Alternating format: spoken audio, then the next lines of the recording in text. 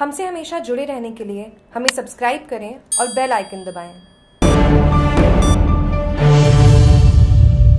निकाय चुनाव में खिला कमल पिछड़ा पंजा भाजपा के 21 कांग्रेस के 11 व 8 निर्दलीय प्रत्याशियों ने फहराया परचम पालिका चुनाव के तहत रविवार सुबह ईवीएम से नतीजे निकलना शुरू हो गए जिसके चलते भाजपा के प्रत्याशी 21, कांग्रेस ने 11 व 8 वार्डो में निर्दलीय प्रत्याशियों ने विजय परचम फहराया।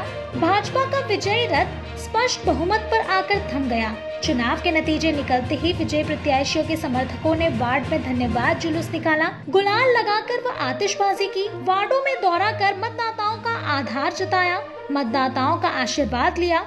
साथ ही समस्याओं के समाधान के लिए कटिबद्ध होने का भरोसा दिलाया।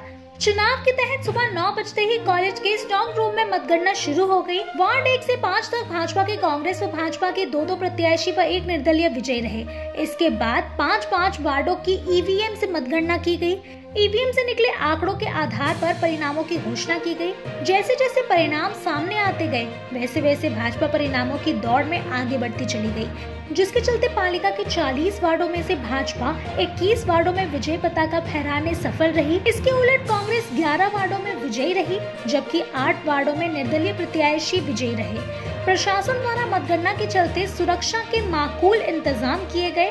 मतगणना स्थल के बाहर तृतीय सुरक्षा की गई। कॉलेज के मुख्य द्वार पर बैरिकेडिंग की गई, जहाँ खाकी मुस्तैदी से तैनात रही। वहीं मतगणना स्थल के अंदर व खुले परिसर में तैनात पुलिस के जवान व अधिकार सुरक्षा की कमान संभाले रहे। जागरूक टीवी के लिए आबू रोड से मनोज चौरसिया की रिपोर्ट।